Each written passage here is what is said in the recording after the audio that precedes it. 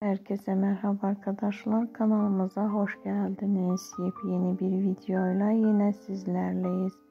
Sizler için Yalı Çapkın'ın yepyeni görüntülerini size takdim ediyoruz ve yeni bölümünde neler yaşanacak yeni bölümde ıı, Sunay'la Abidin arasında neler yaşanacak ve bu durumdan Halisa'nın haberi olacak mı ve Halisa neler söyleyecek ve Kazım bilse e, Sunay'a neler yapacak. Eğer sizler de bilmek istiyorsunuzsa da e, bizleri izlemeyi unutmayın.